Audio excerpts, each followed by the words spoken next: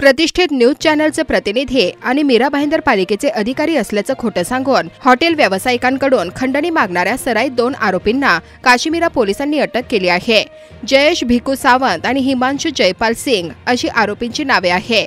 हे मूळचे उत्तर प्रदेशातील राहणारे असून त्यांना काश्मीरा पोलिसांच्या पथकाने मध्य प्रदेश येथून गुरुवारी पंचवीस जुलैला अटक केली आहे.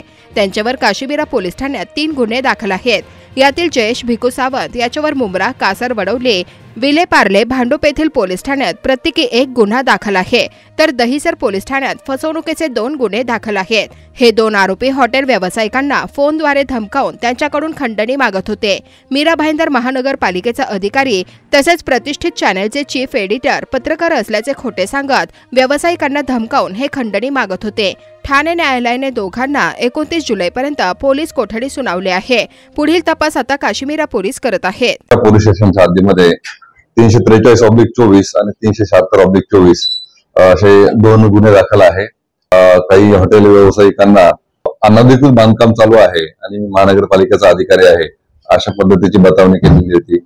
आपल्याकडे दाखल झालेली होती. तर दाखलावरून तपास केला असता सदरचा फोन जो आहे उत्तर प्रदेश येथील कानपूर या ठिकाणून आलेला होता. त्या ठिकाणी आपण टीम रवाना केलेली होती.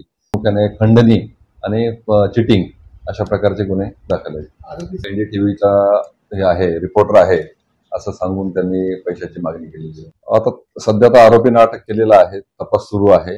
आणि त्या सगळ्या सर्व गोष्टींचा तपास सुरू आहे आता.